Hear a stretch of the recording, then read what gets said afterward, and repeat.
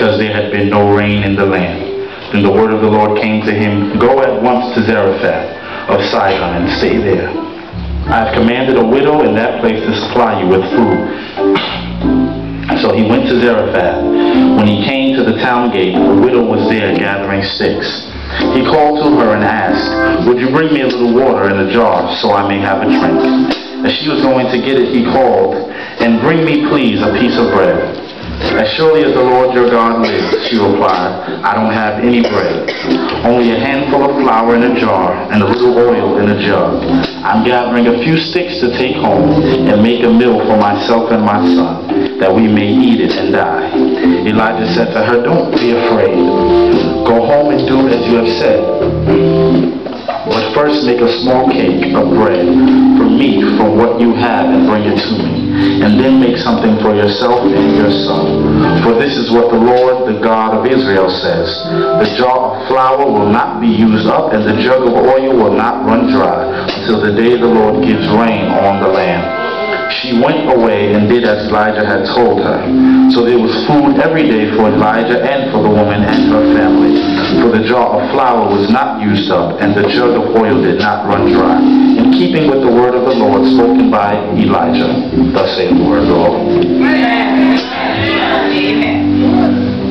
Lord, our prayer is that you will think with our mind, speak with our mouth. Use your word that it will go forth and meet the needs of this waiting congregation. Let the words of my mouth and meditation of my heart be acceptable in thy sight. In Jesus' name I pray. Amen. Amen. God bless you. Amen. I want you to get excited. I want you to get excited.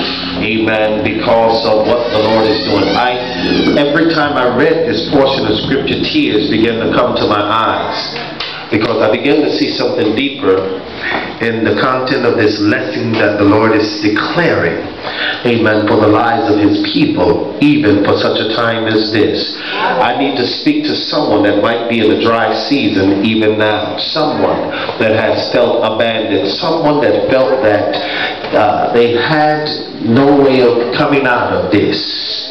I hear the Lord saying, get ready. Get ready. Amen. And so when I looked at this, I began to see some things taking place. And I thought, amen, that we need to encourage one another with a voice of enthusiasm and excitement. Amen. Get ready for the overflow. Mm-hmm. Amen. Tell your neighbor, I'm getting ready for my overflow.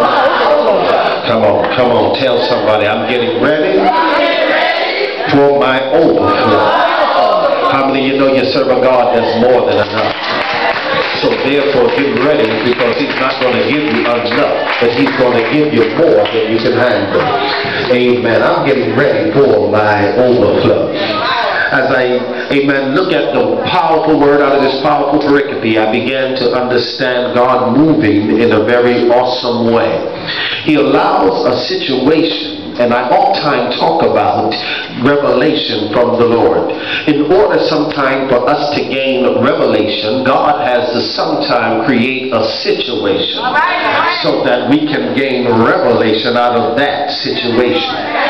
Now here it seems to be a strange story of a young woman that had already made up her mind that she and her son was going to eat their last meal and die.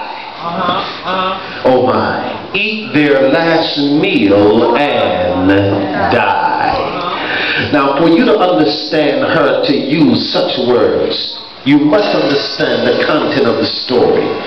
What was happening is that the man of God had already pronounced that the rain would be held up until it was declared to fall.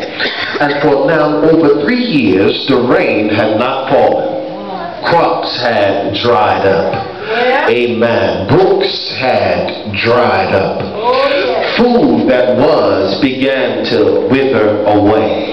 You need to get a clear picture of what was going on. Here's a young lady with her young son. The word already let us know that her husband was not around. For death was in the air. Mm-hmm. Wherever they stepped, there was a man stepping over dead bodies.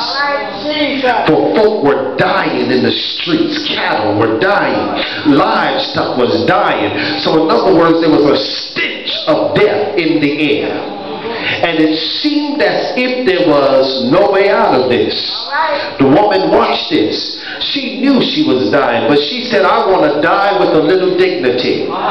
So here's a woman without much strength. She gathers her little boy and she grabs herself a shovel and she goes out into the soil and said, This is going to be our burial plot. And she begins to dig in the soil a hole deep enough that would cover her and her son's body.